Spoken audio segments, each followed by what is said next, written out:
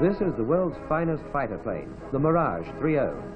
The building of this supersonic aircraft in Australia has marked a further milestone in our aviation history.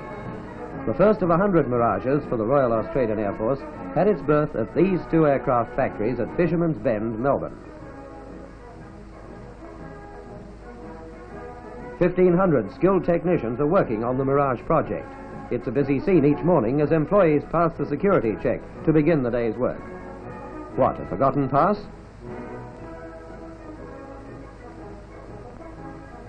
Any construction job starts in the drawing office, and the multi-million pounds Mirage project, of course, is no exception. Thousands of drawings imported from France are used in the manufacture of the aircraft, and these all have to be carefully checked by draftsmen. Working from the drawings, technicians see the Mirage taking shape. The fuselage of the aircraft is built in the Department of Supplies factories. The first two Mirages for the RAAF were built in the Dassault works in France, but the remainder are being built in Melbourne. Here in the electrical section, the 1100 wires which go into each fuselage are carefully fitted and soldered into place. In all, there is 14 miles of wire in each fuselage. Heat-treated flush rivets are used throughout the construction of the Mirage, and the rivet holes are drilled to a precise pattern. The rivet holes are milled flush with the skin.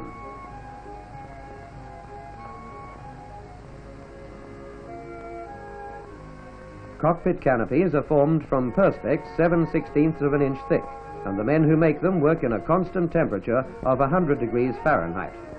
The canopy is buffed to a mirror-like finish to give maximum visibility.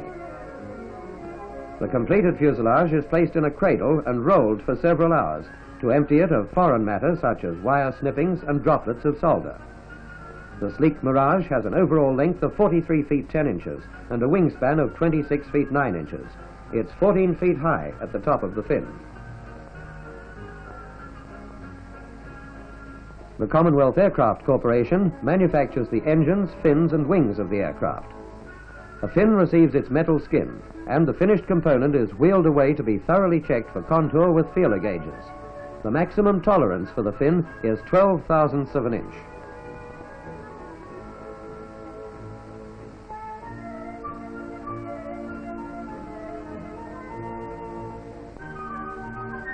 The delta wings consist of a ribbed framework over which an aluminium skin is riveted. The skin is up to 3 16ths of an inch thick and the major portion of it is machined from a slab of aluminium two inches thick. This ensures strength to withstand the heat and strain of flying at nearly 1,500 miles an hour.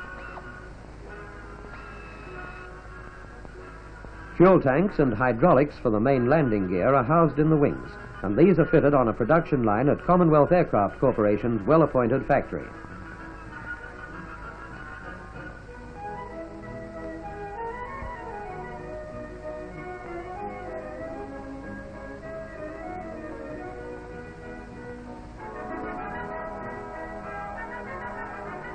The electrical circuits and hydraulic lines are tested with fault-finding machines.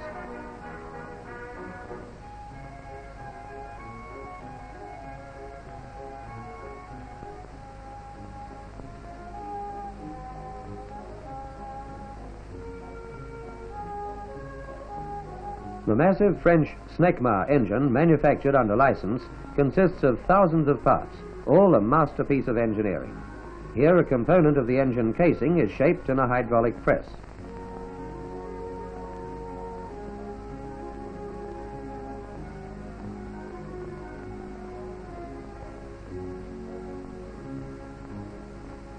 Part of the afterburner casing is welded.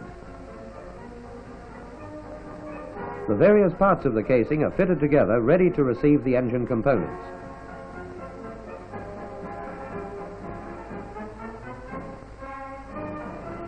In the busy engine shop, women work beside men in a variety of occupations, surface grinding, milling and inspection. Some of the women are migrants who have had experience in machine shops overseas. The nine-stage axial flow compressor, a vital part of the jet engine, contains no less than 110 blades. The concentricity of the completely assembled compressor rotor is tested. Turbine blades are checked for tip clearance.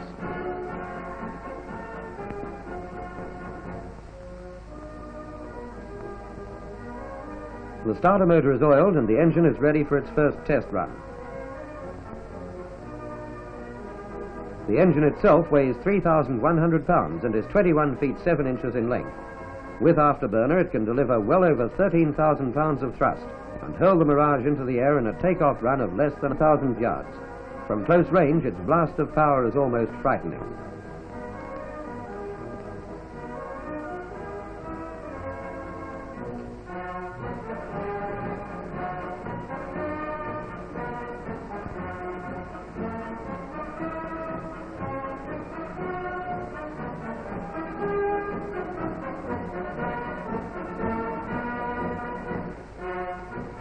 In the engine test center, instruments record all aspects of the performance.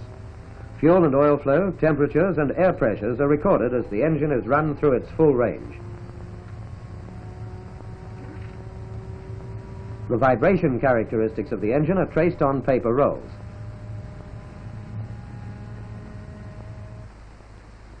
At the Department of Supplies factory at Avalon, the finished components are fitted together and the aircraft assumes its sleek, deadly lines.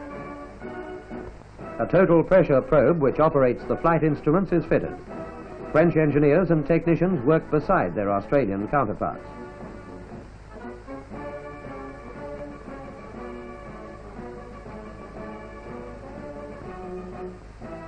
Here, the rugged landing gear is given a final check before the aircraft is wheeled out for its taxi and flight trials.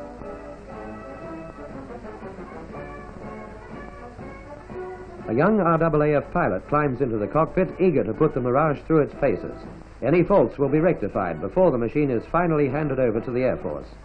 RAAF pilots who tested the first Australian-built aircraft converted to the Mirage in France. Before going overseas, they completed a course in French at the RAAF School of Languages at Point Cook. The Mirage takes to the air like a bird. An all-weather fighter interceptor, it's the fastest aircraft ever in the southern hemisphere. Although much of the performance figures of the Mirage have not been disclosed, the aircraft has been widely acclaimed throughout the world. It can be flown at twice the speed of sound. It is particularly versatile and can be fitted with a variety of weapon systems. It will not even be necessary for the Mirage pilot to see his target. His target-seeking radar will search out the enemy far beyond the range of human eyes. The Mirage is equally superior in the role of a ground attack aircraft. Its low-pressure tires enable it to operate from makeshift landing areas if necessary. Using its brake chute, the Mirage can stop on landing in less than 800 yards. Its maiden flight over, the Mirage taxis back to its hangar. The Mirage will gradually replace the Sabre fighter in squadron service throughout the RAAF and will put Australia in the forefront of fighter defense for years to come.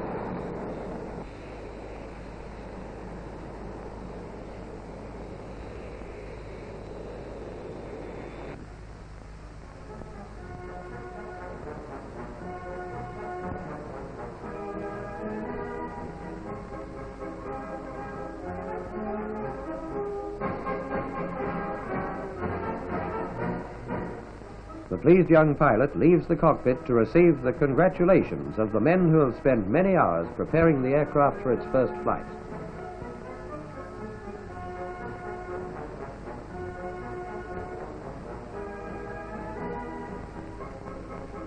January the 29th, 1964 was an historic occasion when the Prime Minister, Sir Robert Menzies, and Cabinet Ministers were present at the official handing over to the Air Force of the logbooks of the first Mirages. Distinguished guests and senior officers of the armed services were among the 800 people who heard the Prime Minister describe the Mirage as a production miracle.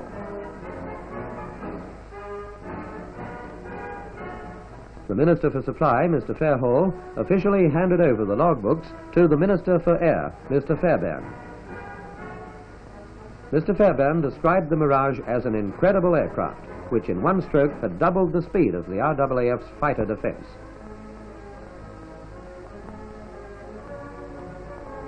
After the handing over, the Prime Minister took a close-up look at the Mirage.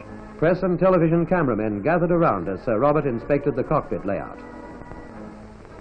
Two of the new fighters then gave the first public demonstration in Australia. In the words of the Prime Minister, there is no finer fighter than this in the whole world.